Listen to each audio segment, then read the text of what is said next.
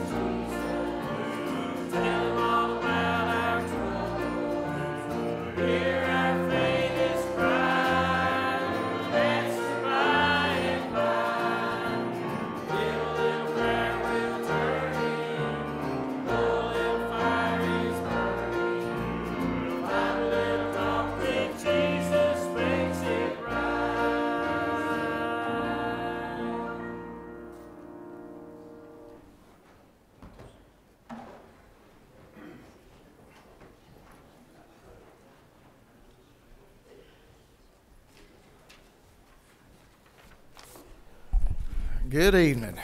Well, that was great. Everybody's good and awake tonight. It's certainly good to be back in the house of the Lord, and uh, good to see such a wonderful, wonderful number out on a Wednesday night.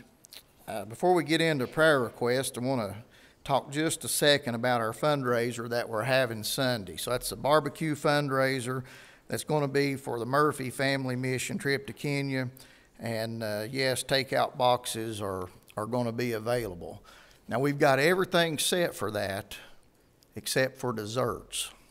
So either we need all you all to help make 300 servings or Marilyn to make 50 cakes, whichever one, however you want to do that, I don't care. But we want to have, we're planning for about 300 people, no joke. That's what we're, we're hoping and praying for. And so uh, everything is covered. I believe we've got everything that, that we need, except for desserts. We Want to make sure we have a lot of desserts. I don't want to have to go buy fudge rounds at the last minute. So help us out, uh, ladies and gentlemen, if you make desserts by, by bringing one or two desserts if you can to help us meet that 300 mark.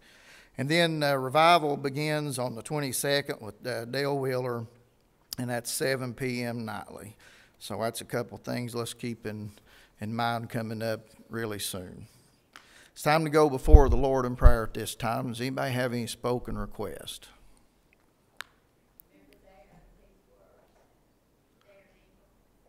Let's remember this. Let's remember Don's sister. Remember this. I have a lot of requests, but I have one special one, it's two lives in Knoxville. Uh, John Montgomery, he's got almost kidney failure, and he's up in years, so I'd like to remember him. That's John Montgomery.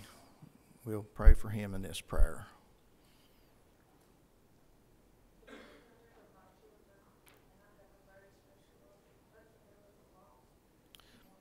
Yes.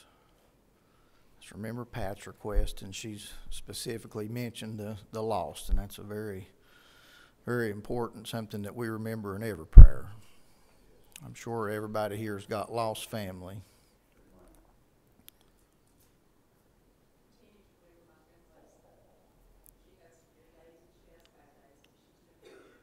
Good.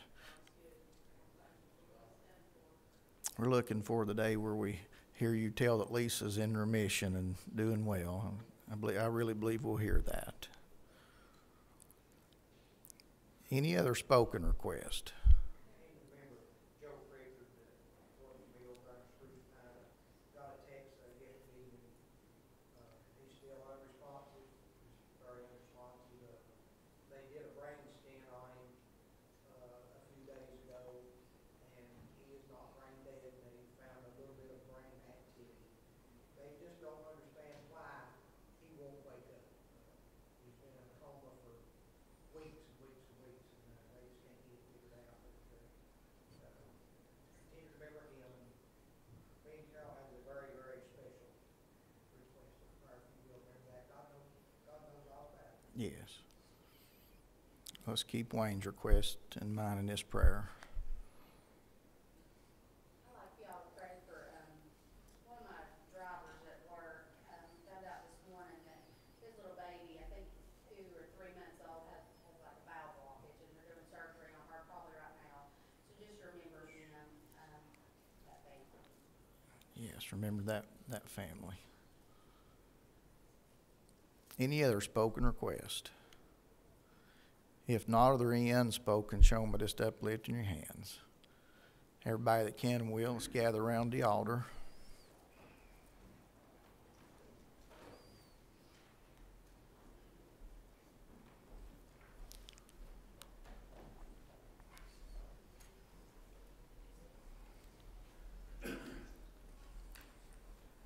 Ask David Butler if he will to lead us.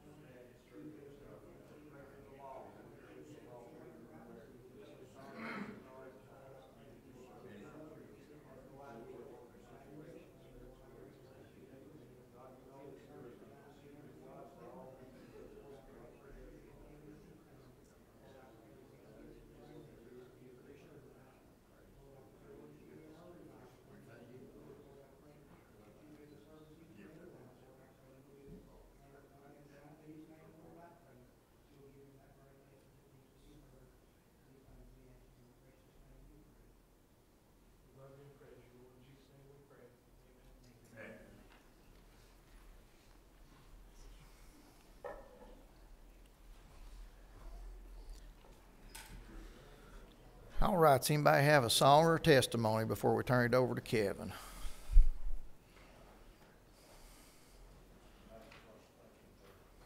taking care of things, being our, I had to go CT scan Monday morning, they want to take my lungs out and stuff. And everything kind of turned out good, I just think we're for that. Taking care of Dan's thumb, they had to put an injection in it. And they told her not to play the piano, they said that it'd be a couple of days before she could. Yeah. Yes, thank the Lord for that. Any other testimonies? All right, let's pray for Kevin as he comes.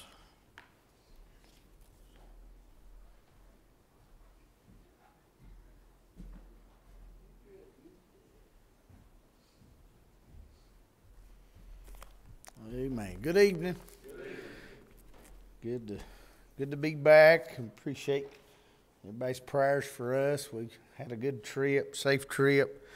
Uh, it was time or two we we seen the hand of God keep us from wrecking and other people hitting us. And anytime you get out on the road, it's uh, you're in harm's way, way, ain't you? But uh, very thankful for the hand of God and very thankful for the uh, the word of God that was preached here Sunday. It was a blessing to our heart, and we was able to watch it there. But uh, thank God for Josh and what a wonderful, wonderful job he done Sunday. And, and uh, good to have our visitors with us tonight. Good to have you all with us, and others that are visiting with us as well. If you're here tonight and you're visiting with us, it's good to have you. All right, turn with us in the book of Matthew, chapter number nine.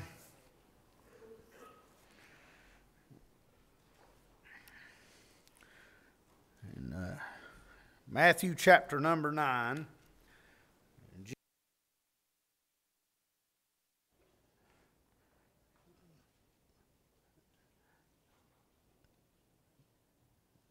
While he was in the way there, and they was they was a lot of people come to him uh, and getting help here, and uh, they was this uh, this chapter is full of, of miracles that Jesus did.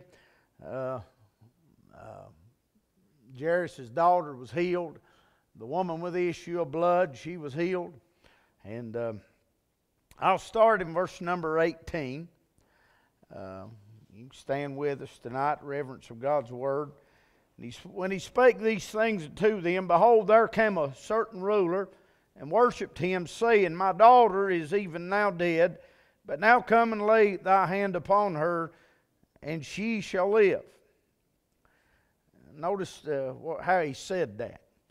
He said, But come and lay thy hand upon her, and she shall live. He had the faith that he'd lay his hand on her and she'd, she'd be, she'd live. And Jesus arose and followed him, and so did his disciples. And behold, a woman which was diseased with the issue of blood twelve years came behind him and touched the hem of his garment. Uh, for she said within herself, If I may t- but touch his garment, I shall be whole. But Jesus turned him about, and when he saw her, he said, Daughter, be of good comfort, thy faith hath made thee whole. And the woman was made whole from that hour. And when Jesus came into the ruler's house and saw the minstrels and the people making a noise, he said unto them, Give place, for the maid is not dead, but sleepeth. And they laughed him to scorn. But when the people were put forth, he went in and took her by the hand, and the maid arose. And the fame thereof went abroad in all that land. And when Jesus was departed thence, uh, two blind men followed him, crying and saying, Thou son of David, have mercy on us. Verse 28 is where we're at tonight, what's on our heart. And when he was coming to the house, the blind men came to him. And Jesus said unto them, Believe ye that I am able to do this? And they said unto him, Yea, Lord. Then he touched, then touched he their eyes, saying, According to your faith, be it unto you. According to your faith, be it unto you. And their eyes were opened, and Jesus straightly charged them, See that no man know it.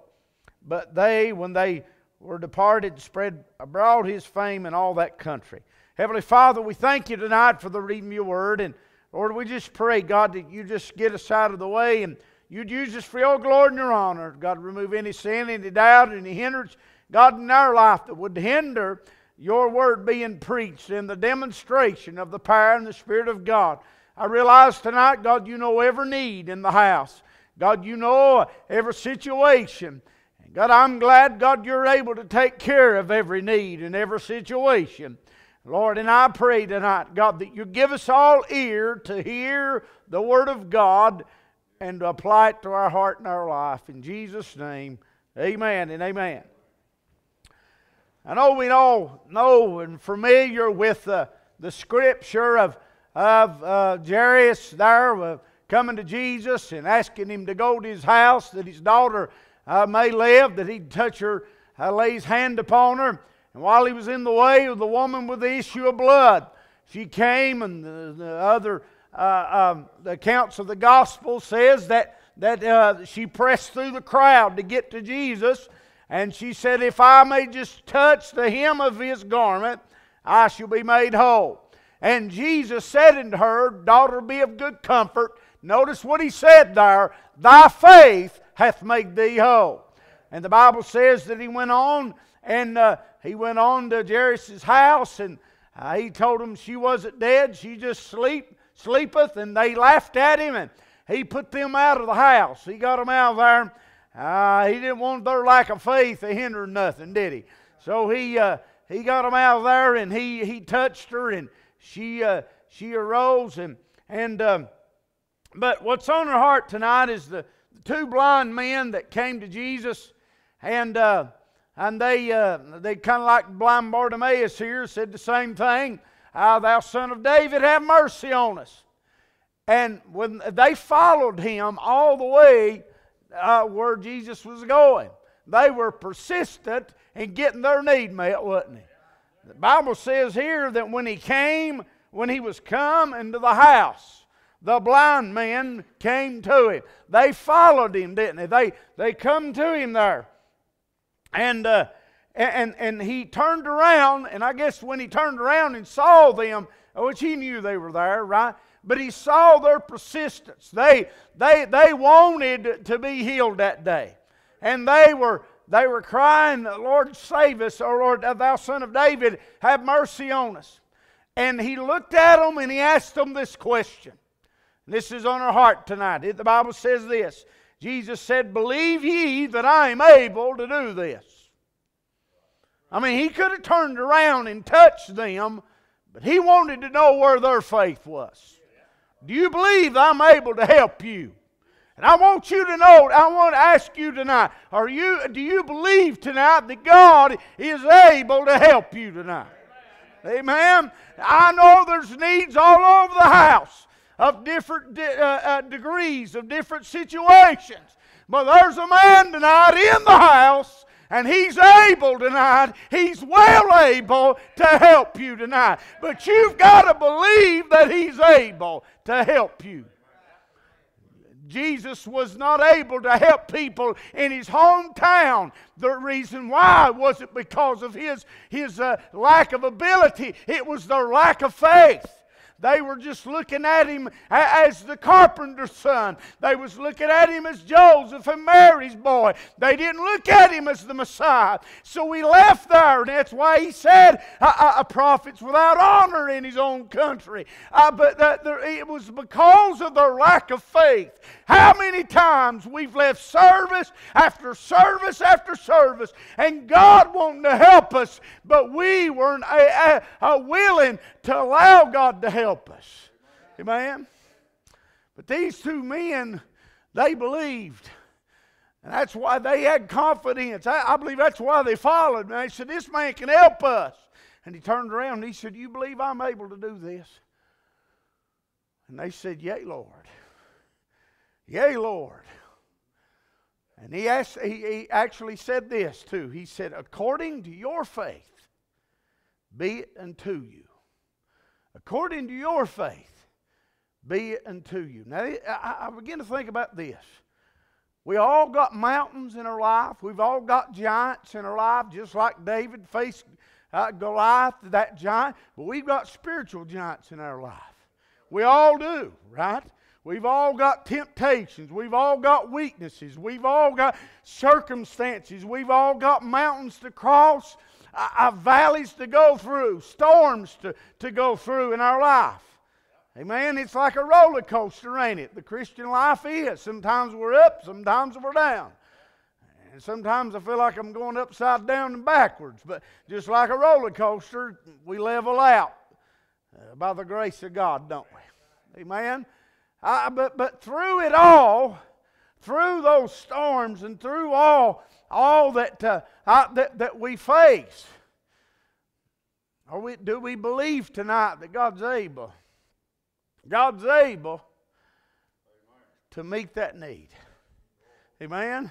And, and, and it's these, these men here, they, they, they, they had the faith. They had the faith that, that, that Jesus was able to help them.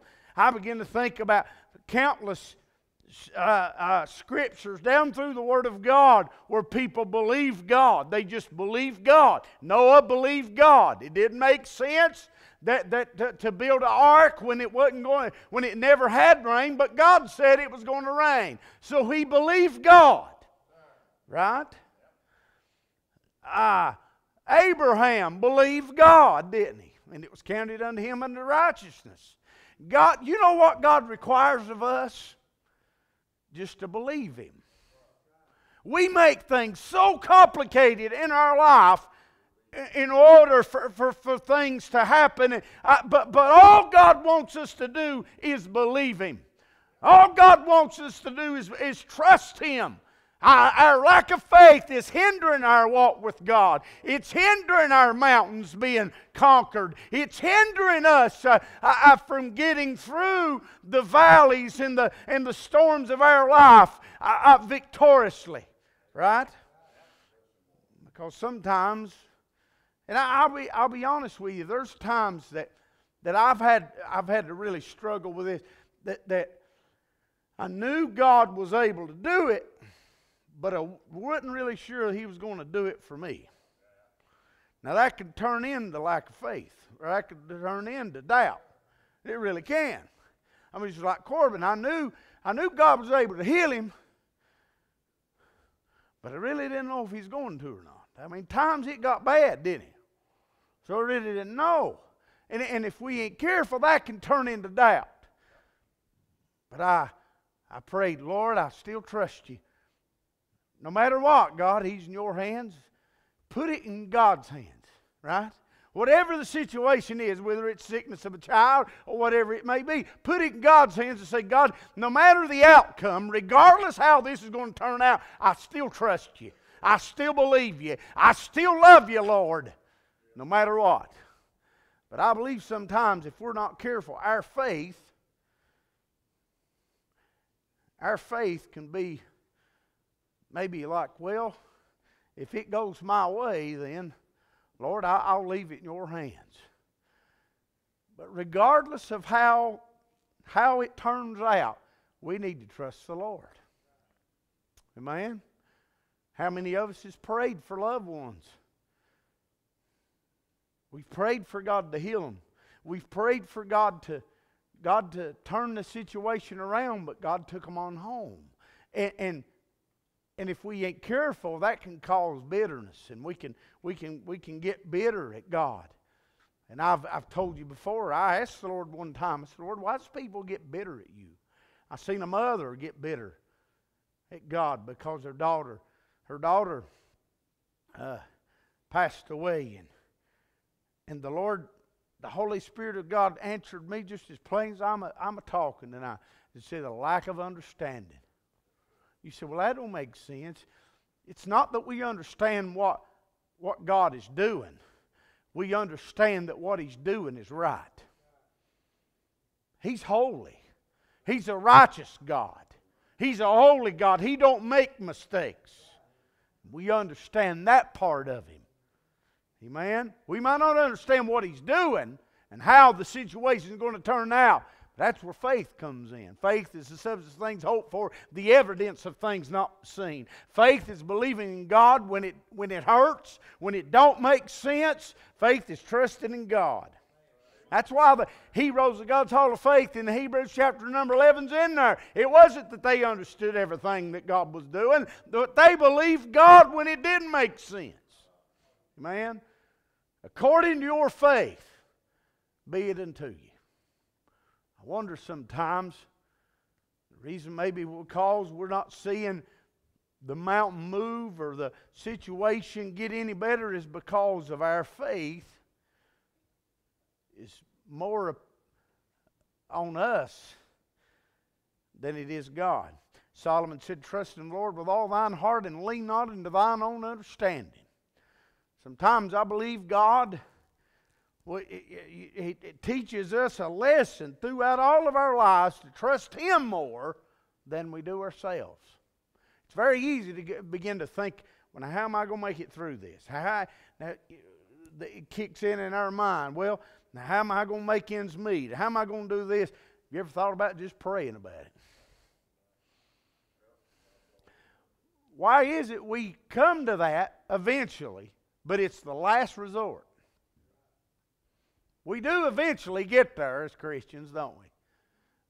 But that's we, when we get there, we're exhausted, we're wore out, we're about but to, but just throw in her hand or throw up her hands and quit.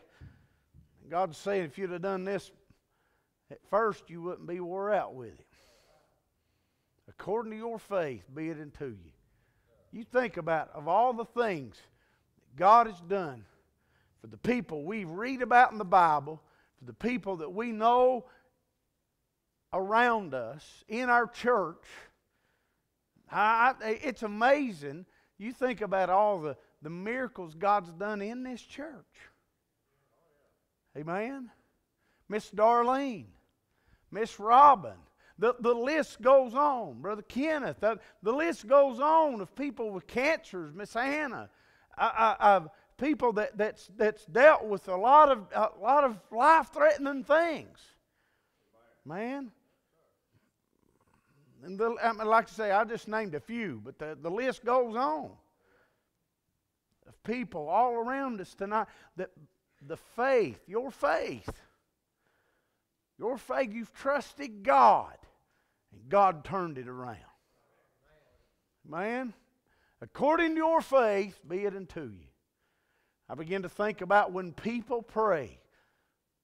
I think about in the book of Acts when Peter was put in prison. The Bible says that prayer was made without ceasing among the church. Prayer was made without ceasing in the church. The church got together. The church began to pray. And the church, when they begin to pray, God, they rung the prayer bells of heaven.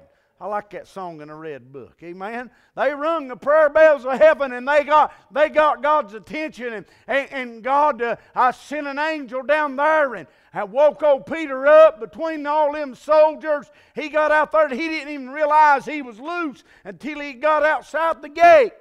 The Bible says that uh, while they was down there having prayer meeting, there's a knock on the door, and the damsel went to the uh, Rhoda there. She went to the door, and, and and she said, "Hey, Peter's at the door." And they said, "No, that's his spirit, or that's his ghost." So they couldn't even believe it. And, and, and how, how a lot of times we, we can't believe. We pray and we pray, and, and, and, and God really answers sometimes, and we're so astonished.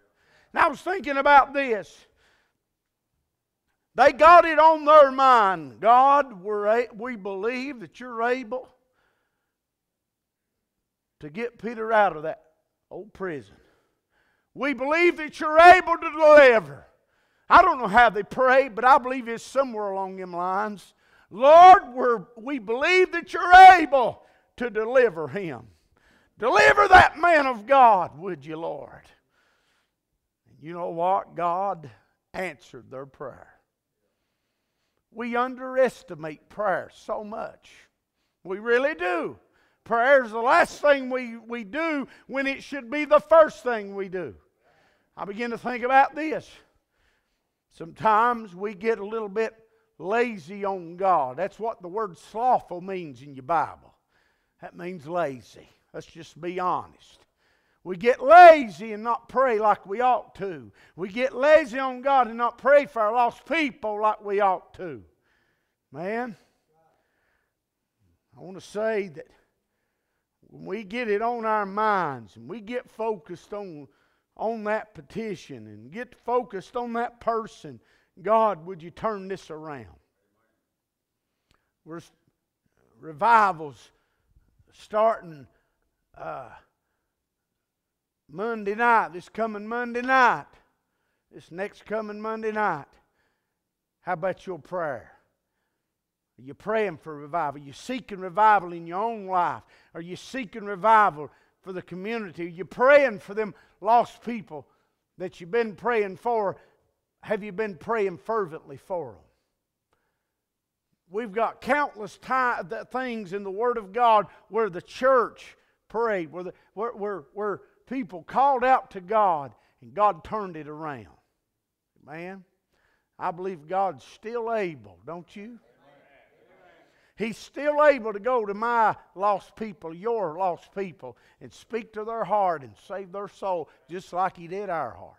Amen. He's still able to, to turn people's lives around. What, what, the, what the angel saying to Sarah when she heard the tidings that she was going to have a child? She laughed within herself. The angel said, Is anything too hard for God? Is anything too hard for God? Think about what Caleb said. We, we're all well able to inherit the land. We're all well able to have revival, to see God move in a mighty and great way, to revive the church, to revive the county, to revive our community, to, to, uh, to save lost people. Amen? Revival is all the above, right? It ain't just seeing lost people. Say it's seeing the church revived too. Amen? Anytime's a good time to see a lost person saved. Amen? But the church, we need to get it on our mind God's able to do this.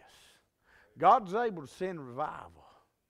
You get to hunger and thirst after righteousness, and guess what? You shall be filled. That's what the Bible says. He that hungereth and thirst after righteousness shall be filled. But I believe sometimes our hunger and our thirst, our appetites in other places than it is God. That's why our prayer life is in the shape it's in. Amen. But when we when we look to the Lord, uh, think about also Paul and Silas was put in prison for casting out that demon out of that lady. And the Bible says that they was down there, and at midnight they sang songs, or, or they prayed and they sang songs. And I can just imagine, I can, just, I can just think about it. Maybe it's pitch black, probably was. I can just hear a Paul say, hey, Silas, let's have prayer. let's pray. No doubt there's hurting, hurting where they'd been roughed up emotionally. You know the devil was saying, Where's you got at now, boys? If God's so good, why, why is he why you wound up in prison?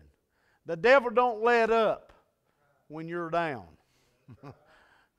he don't, does he? But the Bible says that they, they prayed. When they prayed, they started singing. God began to move. When they prayed and they sang. What did the Lord say? He said, If I'd be lifted up, I'd draw men unto me. Amen. They began to lift the Lord up. I'd say they said, Lord, you know where we're at. You know what kind of shape we're in. I wonder if he said, Lord, I know you're able to deliver us. But you know what? God had them down there for a reason. There was a jailer down there that needed to be saved. And we might realize, we might think, well, Lord, why you got me in a place like this? Don't let your murmuring hinder God's plan for your life.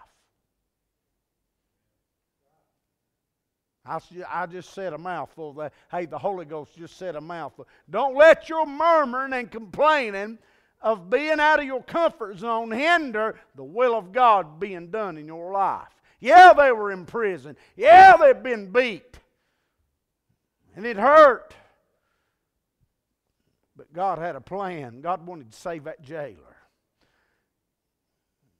At midnight, but hey, there's a, there's a big earthquake, a big shake, and God shook that jail. The jail doors flew open, and that uh, jailer come in there, and, and, and, he said uh, he was going to he was going to kill himself, wasn't he? Because he, he knew that if everybody would, would, would, would escape, then it cost him big time. Paul said, Do thyself no harm. We're, we're all here. And you know what? The man said this What must I do to be saved? And he said, Believe on the Lord Jesus Christ. Amen. I want to say tonight that God had them in a place where they, were, they weren't real comfortable with. I don't believe none of us would choose to be in prison, to be beat half to death. But you know what? Because they prayed, they, they, they allowed God to use their situation. Are you allowing God to use your situation for His glory and His honor? He allowed Lazarus to die for His glory and His honor. As He said, This sickness is not unto death, but for the glory of God, that the Son of God might be glorified thereby. Amen. So, according to your faith, be it unto you. According to your faith, be it unto you. That's the message tonight. God speaks to your heart tonight, and I, I, I want to say, I believe in all of our lives, we need to take inventory of where our faith is. Are we trusting in man? Are we trusting in ourselves? Are we trusting in God more? Sometimes we'll try to trust in, in man more than we will God. The Bible says it's better to put your confidence in God than in man. The reason why is because man will let you down. Man's got his limitations. And I, I, I believe this with all my I believe a lot of people will put their more confidence in a doctor sometimes than they will God. Now, we've got two in the house tonight, and you, I believe they'd agree. I believe there's people that look to them like you're a doctor, you ought to be uh, able to fix it. When they'd be the first to tell you, there's one that's greater than us, that he's the great physician. But I believe sometimes that we can put a lot of conf- more confidence in a, in a doctor, in a man, than the great physician. We put more confidence in, in, in whatever person that we're, we're uh, in the situation that we need. A lot of times we'll say, well, well, this person can help me. They can, but you know, God's greater than that, ain't He? Amen? Is there another tonight? Is there another tonight as God speaks to your heart? Every head bowed and every eye closed tonight. I want to just as God God speaks to your heart. Let's come around here and pray with our sister. Listen tonight, God is able. God is able to meet your need.